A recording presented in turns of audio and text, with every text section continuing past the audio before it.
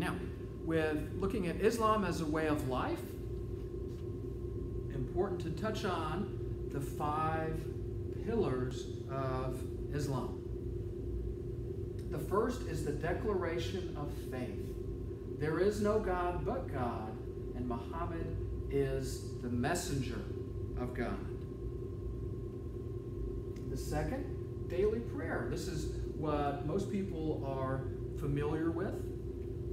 That Muslims have to, five times each day, stop and perform their daily prayers. And what I have here, this is a prayer rug, right? This was brought back from Iraq by one of our servicemen, given to me. Very thankful to have it.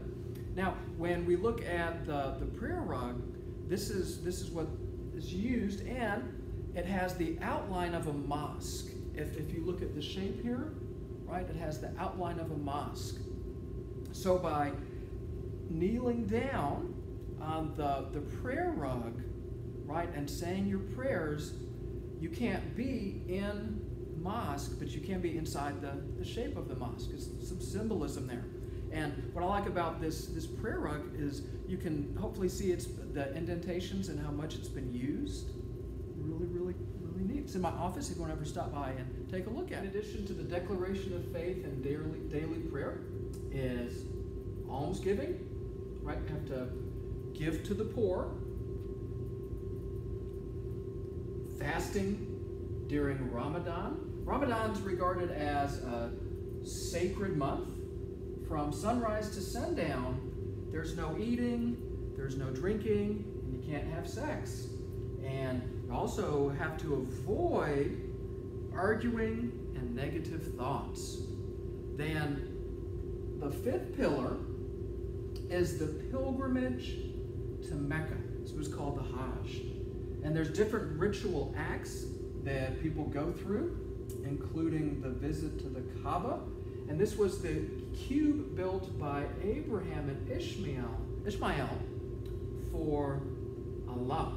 Now, uh, difference between Islam and Judaism, and right, people, if you've read through the Tanakh, might be familiar with Ishmael, right? That was the firstborn son of Abraham, but was born from a slave, a servant, right? Then there was Isaac, right, with this the sacrificing of Isaac.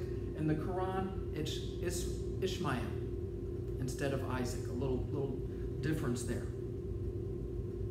This is a picture here of the pilgrimage, and inside is the Kaaba, and they're circling round and round, and each step you get closer and closer to it.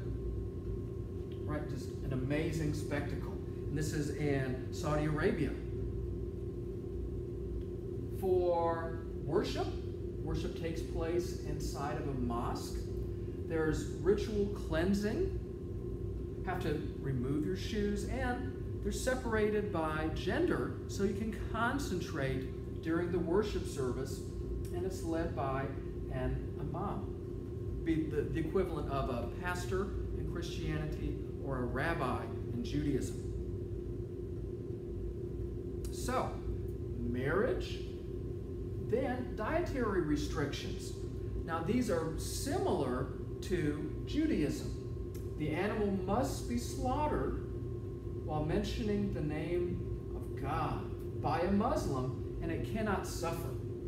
It has to be drained of blood, and just like I mentioned a second ago, no pork, no alcohol. Now, according to the Quran, supposed to dress modestly. And this is interpreted in, in different ways. For example, this is the hijab, some different ways that interpreted with the idea of modest dress. So, what is our ultimate purpose? We aim to live righteous lives by submitting to the will of God, adhering to the five pillars of Islam, following the example of the Prophet Muhammad, read Scripture. Important to remember that God will judge each person individually.